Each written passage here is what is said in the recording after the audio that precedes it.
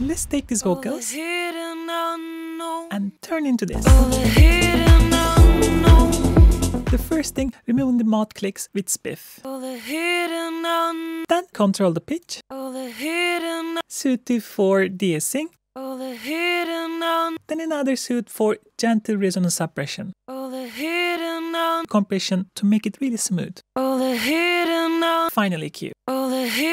The trick is using spiff as a transient shaper so that we really smooth out the sound, making the shimmer like a pad. High pass EQ and soothe 2 for removing the resonances and sighting the vocals.